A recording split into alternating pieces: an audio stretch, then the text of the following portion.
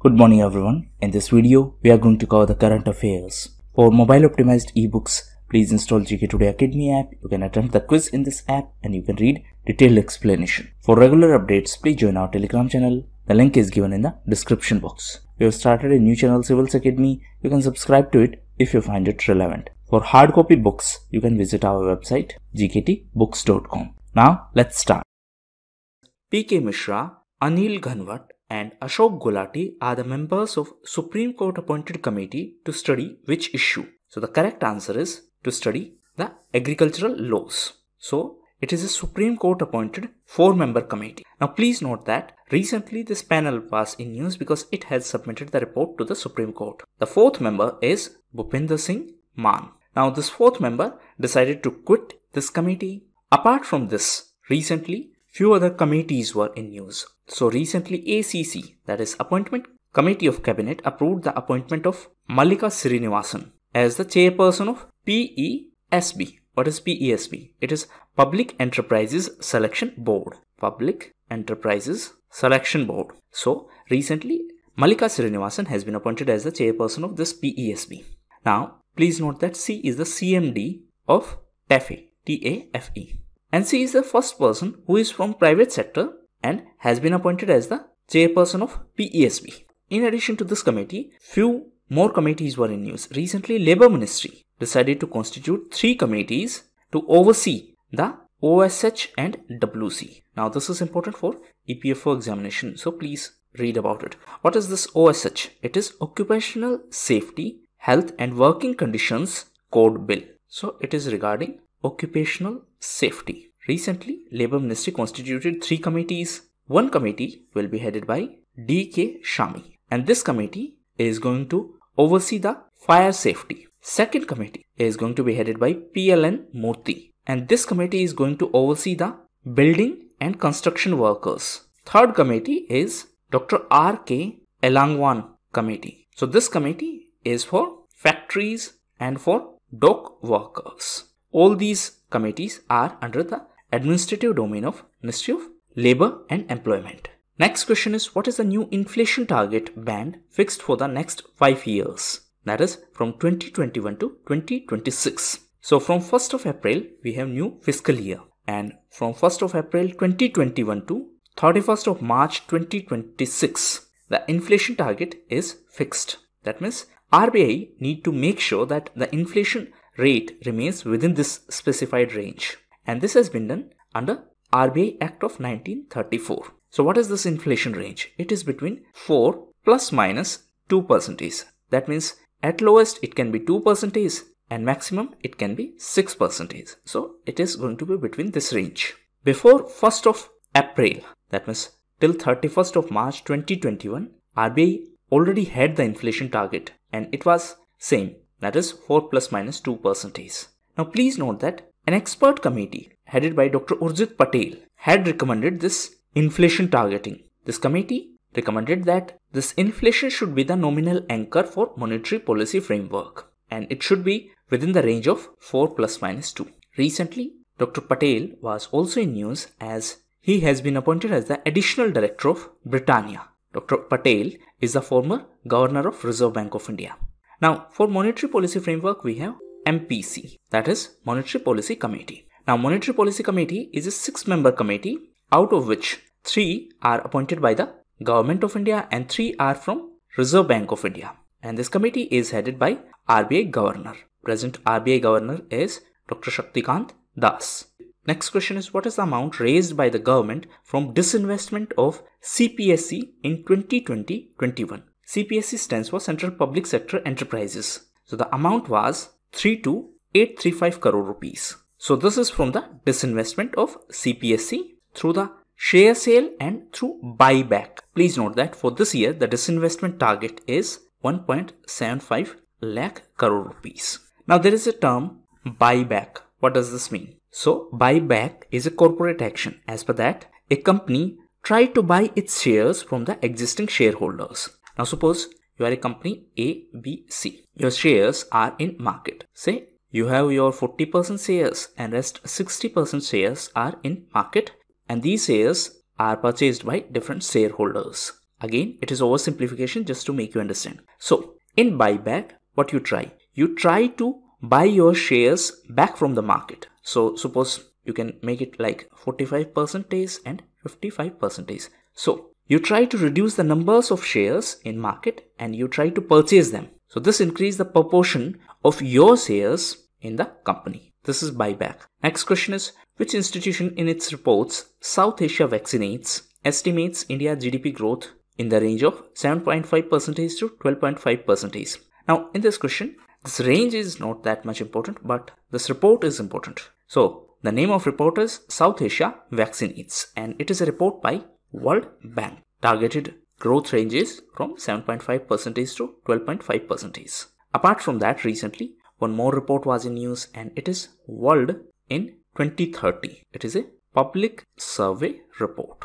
So this is a report by UNESCO. And as per this report, the four biggest challenge in front of the societies of 2030 are going to be climate change, violence and conflict, loss of biodiversity, discrimination and inequality, and last one is water, housing and food. So this is a report by UNESCO. In exam, they may directly ask you that World in 2030 is a public survey report by which international organization.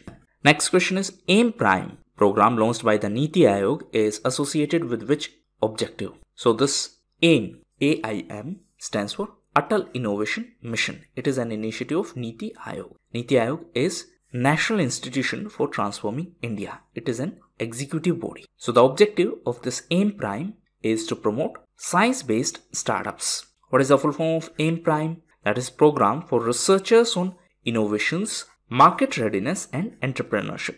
Now, in simplest term, objective is to promote science-based startups. And for this purpose, Atal Innovation Mission has collaborated with Bill and Melinda Gates Foundation. Prime Minister is the ex officio chairperson of Niti Aayog. Niti Aayog is the successor of Planning Commission. Now, please answer in comment box in the context of Planning Commission, what is Gadgil plan? One more thing, on regular basis, I see comments that, sir, why don't you highlight the answer itself? See, when you are going to revise your current affairs, the goal is before I answer, your brain should select the correct answer. Now, if I'm going to highlight it at that point of time, it will create a problem for your revision. So, for your own convenience during revision, I try to avoid direct highlighting of answers. You will understand it when you are going to revise this information. Next question is Lakhta Center that was recently awarded with Emporis Skyscraper Award 2019 is located in which country? So this is in St. Petersburg of Russia and this award is given to the high-rise architecture. Please note that this is the first time Russia has backed this award since its inception. That means since the beginning of this award, for the first time, Russia has got this award. The height of this building is 462 meters. It is in St. Petersburg in Russia. Now in the context of architecture, there is one more famous prize and it is Pritzker Prize. It is the highest international honor given in the field of architecture.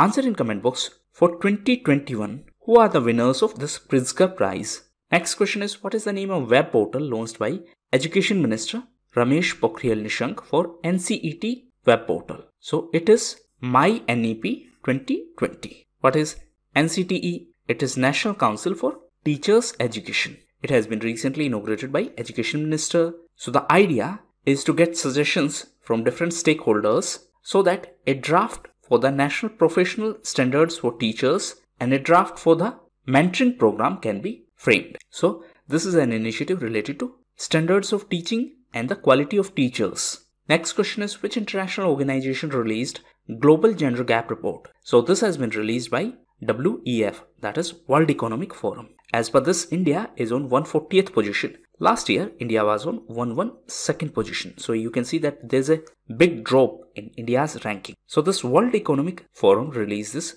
Global Gender Gap Report. The first such report was released in 2006 and it is released on the basis of four dimensions. What are these four dimensions? First is economic participation, then educational attainment, then health and survival, and last one is political empowerment. So India's overall ranking is 140th and now India is one of the worst performers in South Asia. The top country is Iceland and Finland is on second position. Norway is on third position. Next question is the Comprehensive Economic Cooperation and Partnership Agreement that is CECPA between India and which country has came in force from 1st of April 2021. So this country is Mauritius. Now why it is so significant?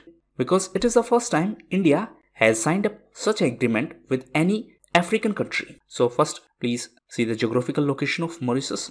So this is the geographical location of Mauritius. This is our country. This is Arabian Sea, Bay of Bengal and Indian Ocean and this is Atlantic Ocean. So Mauritius is the first such African country with which India has signed such a trade agreement. Apart from that, since 2011, it is the first time India has signed a free trade agreement with any country. The capital of Mauritius is Port Louis. Now recently, its neighbor Madagascar was also in news. Why? Because India has donated an advanced digital cobalt therapy machine and this machine has been developed by BARC that is Bhabha Atomic Research Center and the name of this machine is Bhabhatron 2nd. So recently this machine was inaugurated in Anantarivo. Anantarivo is the capital of Madagascar. So these were the most important questions. Now get ready for the test. Please try to attempt the test without pausing the timer so that you can replicate the exam like scenario.